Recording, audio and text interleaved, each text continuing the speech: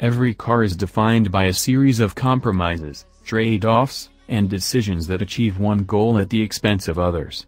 The performance derivatives of the BMW 6 Series Gran Coupe define compromise, whether to emphasize style over function.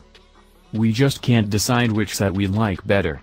There are two Gran Coupes fighting for the top spot, the M6 and the Alpina B6, both of which you can buy from a BMW dealership with a full factory warranty.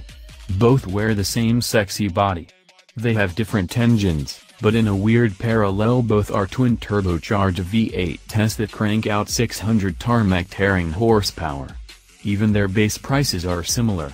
At a mere $3,400 apart, that's around the error at their six-figure price points.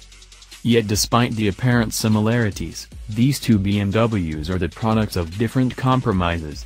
Everyone knows what an M car is. You expect the M6 Gran Coupe to pummel any racetrack, dominate any back road, and obliterate everything on the Autobahn. But what's an Alpina B6? For starters, here's what it's not, a tuner car. At least no more so than the M6.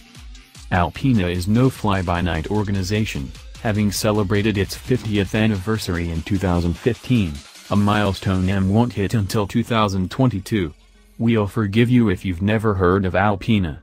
After all, the company prides itself on exclusivity, and that means not selling tens of thousands of cars every year. But you need to pay attention from here on out because, spoiler alert, the Alpina B6 is a better car than the M6.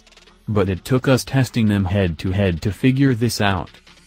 Decades of automotive history have forged a clear idea of what an M car should be. M originally stood for motorsport, so a car wearing its badge will trade some of BMW's trademark comfort for performance. An M car will have a high-revving engine, rear-wheel drive, and immediate handling. It should have a manual transmission where possible, and if not, at least no torque converter. It should be lightweight to foster nimble handling, and although its high price will make it appeal to every attorney trudging through Beverly Hills, it should feel most at home on a lonely mountain road. The M6 is mostly faithful to that M recipe.